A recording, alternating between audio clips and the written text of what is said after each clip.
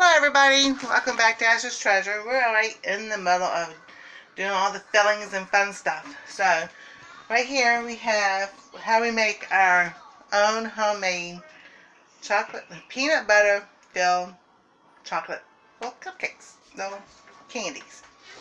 We do use Enjoy Your Life, mint chocolate, mint, mini chips. They do not sponsor this video, but this is what we use. I have a little crock pot, my hand's in the way, that we use to melt the chocolate. And it seems like it needs to start. Peanut butter, yum. This is our peanut butter filling. And, ah, ah, no ma'am, she's eating the filling for the cupcakes. And we use Tony's, no, Toronto's, this brand. Toronto's, Torani, however you say it, flavorings. They are great. We have black cherry, strawberry. We did have hazelnut. I used it all up. we have toasted marshmallow, Yeah, orange. say Sonia. You is this? Delicious. Mm. She's giving everybody a kiss for Valentine's Day. Um, there's green apple and classic root beer. Because we will be making root beer floats um, this weekend. So I will make a video on that when we make those videos. And the filling for the cupcakes. Here we go.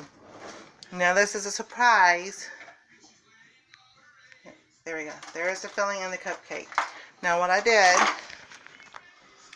I took a frosting couple tip and just put the hole into and hole in the cupcake. Took the middle out, put the filling in. So that's what we've been doing. This is the middle of our project. So once we finish, I'll have all the candies and everything out to see.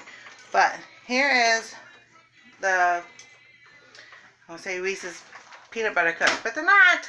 They're not Reese's brand. No, ma'am. No, ma'am. Now I'm just pouring some into here. We can make some. She has been a little helper today. And she's going to be hyper tonight. She probably won't go to bed too soon. But it's chocolate, then our peanut butter, and then chocolate again. But what about here? What are you going to do with these? Oh no, we'll see. And then I did the same thing with the hearts. Chocolate, the filling, and then chocolate on top. But are you and- going to pour the rest of the chocolate and these? Not right now. Because we still have other things to do before mommy and daddy get home. And I get a treat tonight. I do not have to cook supper tonight. It is being bought for me. So, yay! I'm so happy with that. And, whew, it's been a busy day. But so far, so good. And I hope everybody will love our surprises when they get home. So, on that night, thank you for watching. Get- Like, share, give us a thumbs up and subscribe to our channel and we'll see you next time on Ash's Treasure.